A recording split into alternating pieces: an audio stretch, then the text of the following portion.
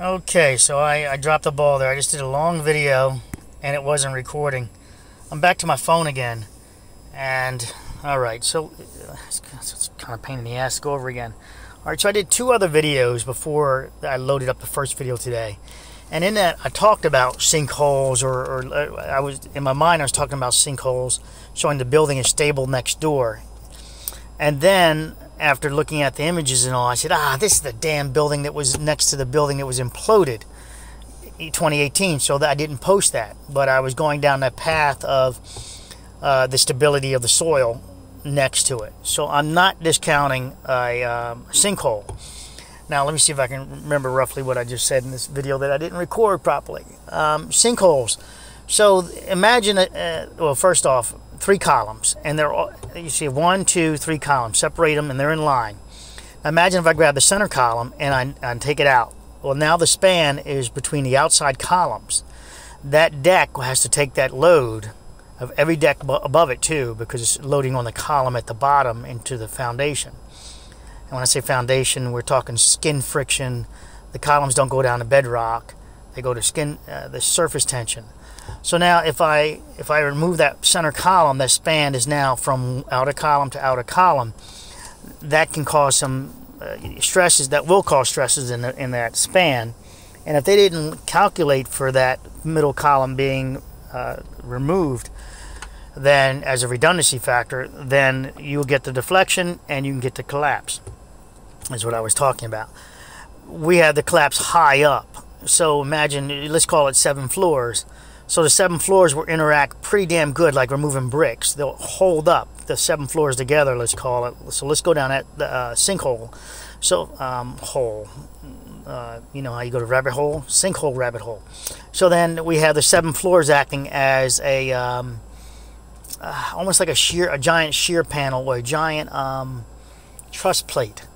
So it's able to hold itself together, and then it's trying to hold up the floors above it. You know, the other seven floors, let's call it and it can't ultimately it can't do it and it just it drops altogether. And then we can account for that top floor the top seven floors then dropping uh, but collapsing where there where there's another question for me there because I have the it looks like the floors in that video only on cell phone I didn't look at it online here online to get a better look on, on the laptop. But it looks like the top seven floors crumble, if you will, let's call it seven floors, they crumble, whereas the lower half drops. So we have some some we have two interactions going on there. We got we've got maybe the lower half separating and pulling on that because it's still connected by columns and it pulls on the upper upper floors, but they, they, they crumble, whereas the lower floor appears to just drop the lower floors. So now we have uh, hey Danny, you just sent me something. So then, uh, shout out to Danny. So uh, the um, the uh, so now let's go down a sinkhole. So a sinkhole usually wants to engulf other areas around it, and so we would see it go out to the street, the swimming pool, the structure to this left, the remaining structure. The thing is, though, with this sinkhole, if it worked, if the whole thing was a sinkhole, we'd have to have we'd undermine one column or, or all of that section because all of that uh, building went inside the sinkhole, we would then stabilize the soil around it um, to help maintain that structure that the firemen, you see the firemen in with the giant balls. Um, you see that that would help stabilize it because there's soil's there. Now, if there was no soil there and it was just sinkhole, the building would, would be all the, the loads, a lot of the loads would be unsupported and you would get that rotation of the of the footers. As I showed you guys with bricks where I stack brick on sand and then I remove part of the sand and you get the rotation. Well the sinkhole is the same concept of the structure. The bricks would be the, the column would be the building and you remove that section of sand.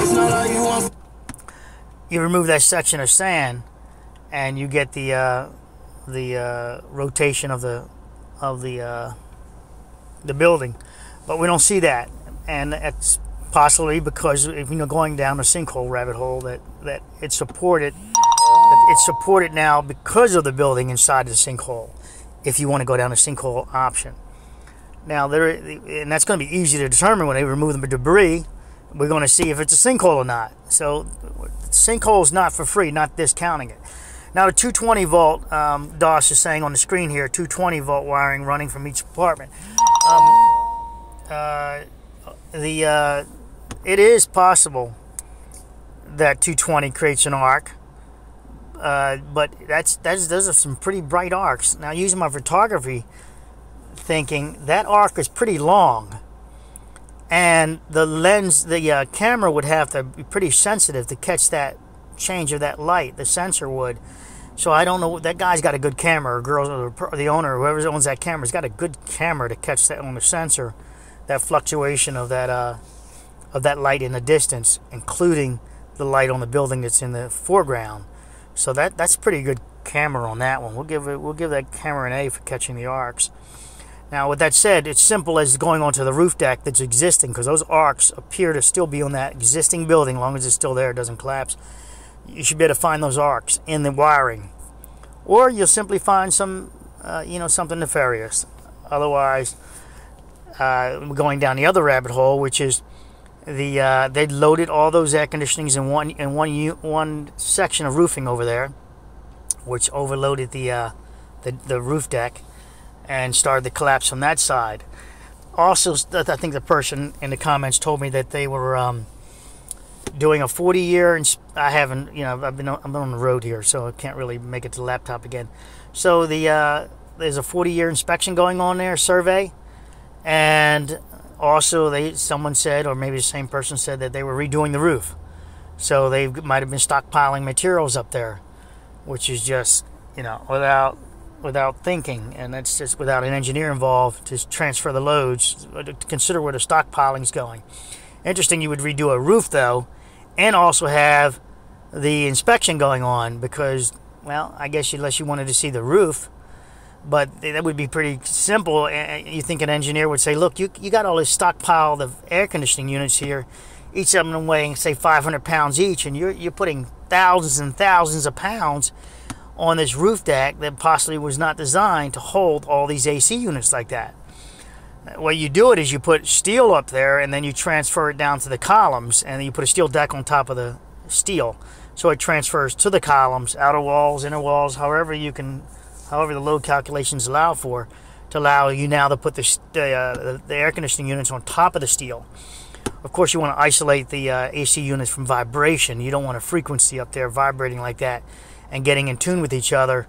Uh, have you guys ever seen it? Those units um, theoretically will all get in tune, a frequency with each other, and and start vibrating. It's uh, I forget what what it's called. My brain can't really recall it, but it's uh, it's it's just craziness how things will get. You put them together, they will get in tune with each other. If I put something out of sync to the left and and out of sync to the right, and I put them close enough where they can communicate with each other, frequencies cross each other, they will ultimately, and it may take time, get on the same frequency. And the same thing with the uh, with the uh, um, um, those are the things that are moving. But with AC units, they're going to be turning off and on, off and on. And so over years, uh, you know, I wonder how long it takes because those things are running all the time. The AC units, you know, they, of course they shut down to some degree, but it's Florida. So I wonder how long it takes, just, just thinking out the box here, how long will it take those units to get in frequency?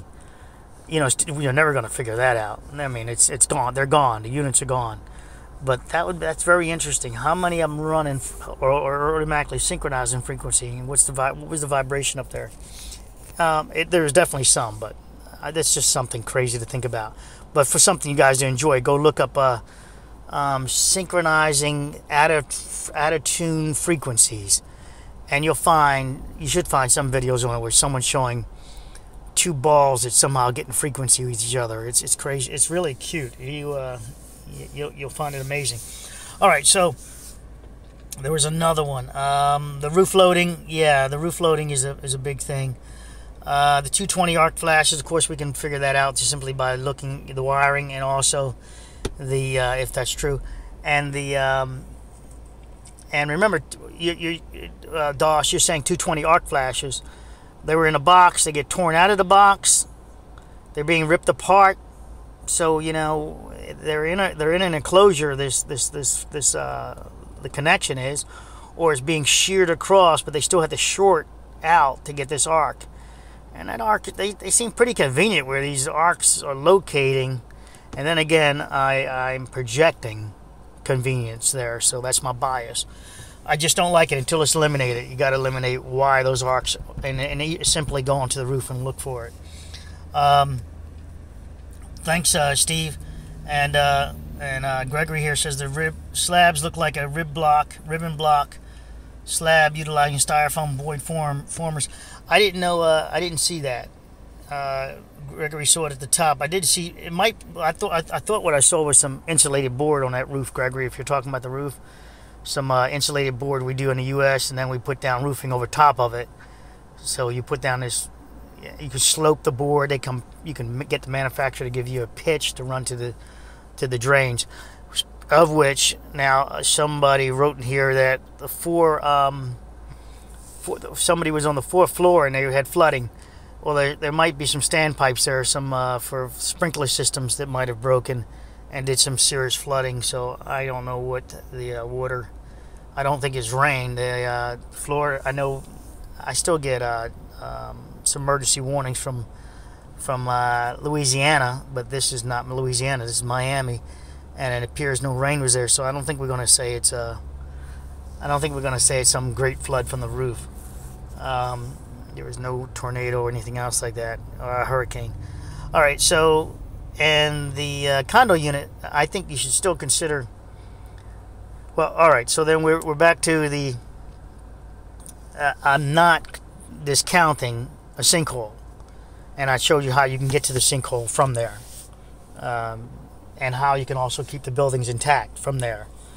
Um, you can also have. I think I said in the beginning of this, where that or it might be the other video where this where you can uh, undermine sinkhole can undermine one column and that could cause your collapse. Uh, the material that's there, if you can imagine, the walls are blowing out and going in. I don't know what the, the walls are made of concrete and a lot of windows um, for, the, for the view. So, yeah, it, it, does appear to be a lot of concrete, but it appears to be counted for on the surface from the, from the picture I, I saw. Um, with my experience taking down a lot of buildings, a lot of that building, a lot of that building is accounted for above ground. Um, how much of it is below grade is the is uh, is interesting. You guys are pretty smart. Can you determine if this had any sub basement? It's right there on the water. I'm guessing it did not have a sub basement. That this is all above grade um, building because of you know you, you're flooding. But then again, Miami was attempting, or did they get over? Did they put the subway in?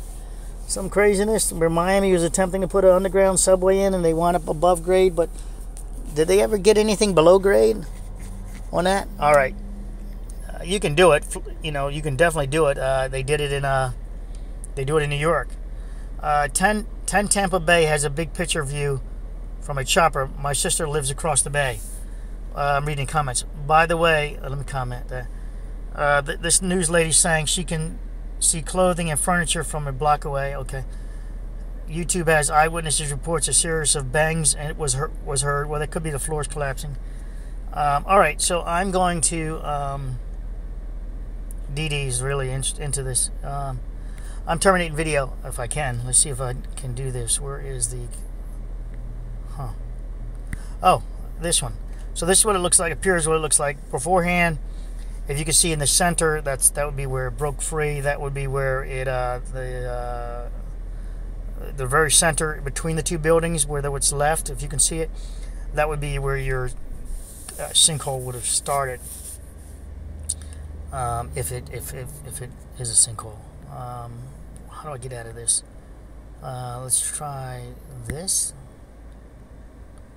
And nope, I think there's a a bar, I should see.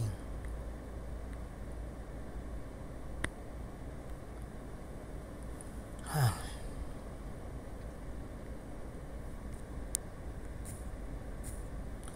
Let's see if it's over here. I'm looking for a bar for this screen recorder. I've only used it um, just now.